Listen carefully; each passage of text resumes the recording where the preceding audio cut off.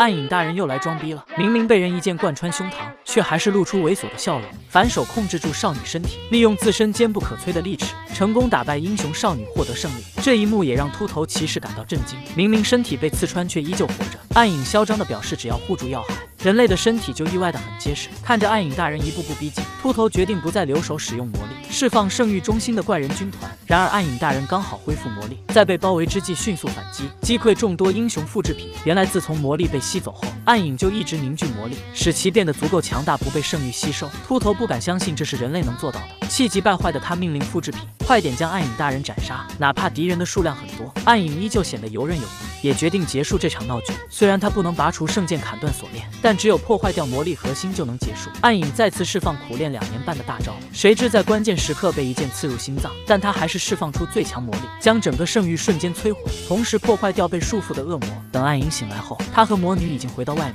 原来被刺入心脏的瞬间，他就用魔力转移了心脏位置。由于圣域的魔力核心被摧毁，魔女的力量逐渐开始消散，并向暗影道歉，欺骗了他。自己一直想要消失，忘记一切，所以才会召唤他前往圣域。魔女感谢暗影，让他拥有不想忘记的记忆，希望暗影能找到真正的他，帮助他的灵魂得到解脱。说完遗言的魔女随风消散。与此同时，另一边准备离开的公主阿莱西亚对此次行动十分不甘心。他们不仅什么都没做到，甚至连善恶都无法分别，只能站在一边旁观着。如果继续这样下去，就会在不知不觉间失去珍贵的事物。虽然他们知道所发生的一切都是一个巨大组织在背后操控，但对其他的都一无所知。阿莱西亚提议三人联手，虽然他们很弱小很无知，但三人都各自拥有自己的圈子，只要收集足够的情报，就能判断出该怎样战斗。在阿莱西亚的提议下，三人决定成为同伴，互相协助。国も立場も違う腹の中で何考えてるかわからないのもいるけど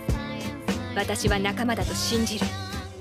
世界の真実を暴く仲間伝説の始まりみたいですね勇者と賢者そして足手まといが揃いました